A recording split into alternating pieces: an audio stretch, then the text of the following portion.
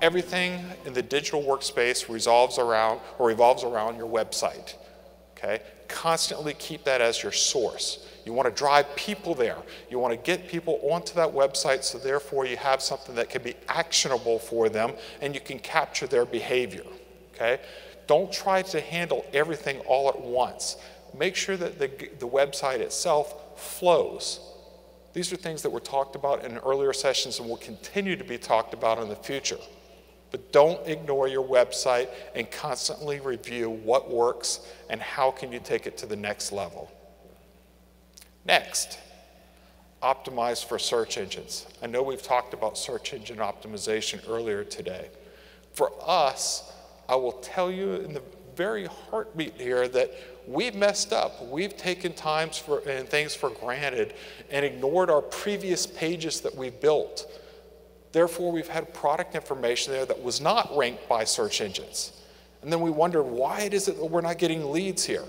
you need to make sure that the way that you drive traffic to your website is based off of where your customers go. How many of your customers use Google? How many of them use Yahoo or Bing? If you don't use that tool, then your website will not get the traffic. You've got to be constantly reviewing that. Your competition is. Next.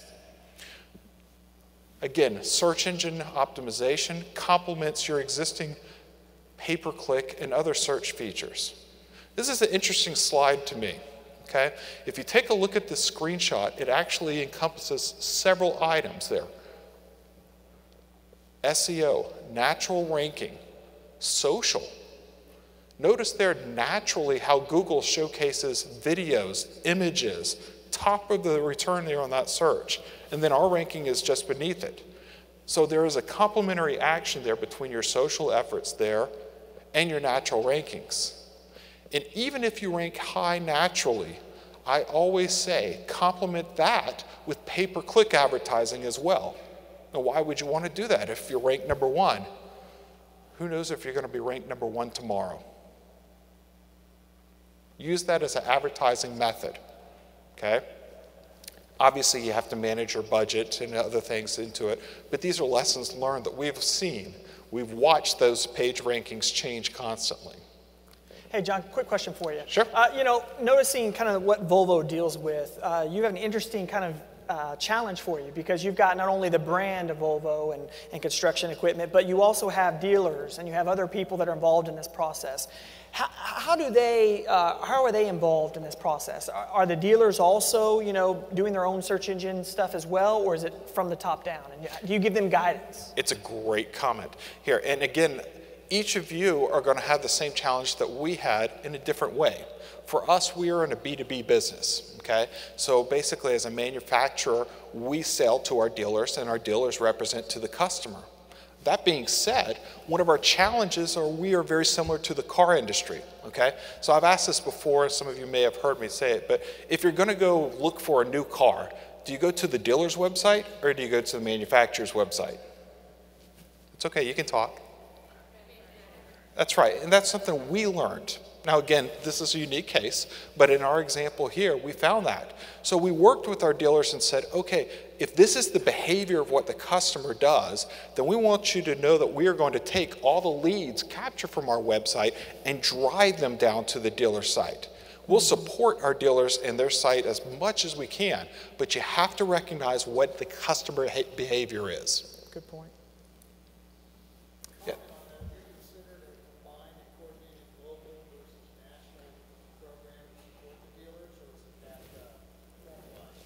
Okay, so what the question was was, do we combine our, our um, assistance with our dealers to have local campaigns compared to national?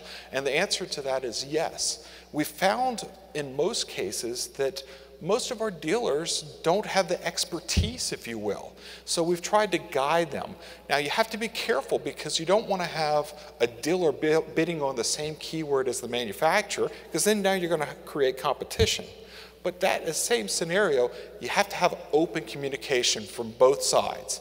Find out what the dealer's doing, find out what the manufacturer's doing, and then complement them so that way we can drive it to the same area. You also have to be careful with that local advertising so it is managed on a local level and not paid for globally or regionally, so that way in California, that ad is mismanaged, and now everyone across the country crosses those areas. So there's always challenges there. Again, the best thing I could say is remember that think big but start small approach? Again, start small with your dealers or whomever you're working with and make sure that communication door is open. Good. Moving along here, um, support through email.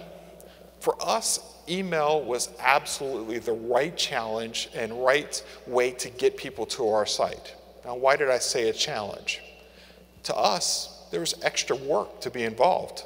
Obviously, creating the content for that email is just as imperative as keeping it up on your website, okay? But we recognize that. And we said that this is the way that we are going to use to primarily drive traffic to the website. Email can be dynamic. You notice up there, there's three key words dynamic, interactive, and analytics. Dynamic. I want to have the right message going to the right individual. So Justin's on the stage with me here. If Justin's interested in a paver, something to pave roads, how many of you think he would be interested if I sent him an email on an excavator? Well, the fact is, unfortunately, we do have a wide range of products there, and we want to make sure that that product is the right product for the right individual. So when we send the emails, we want to make sure that the content changes. So it sees that this is Justin, this is what his interest is, and then changes automatically. Okay? Again, that goes back into it. Interactive functionality. Best thing I can tell you is this videos work okay? If you include links to videos on your email, I guarantee you that you're going to have a much higher click through rate on those links. And then analytics, always adjust and review how your emails are working.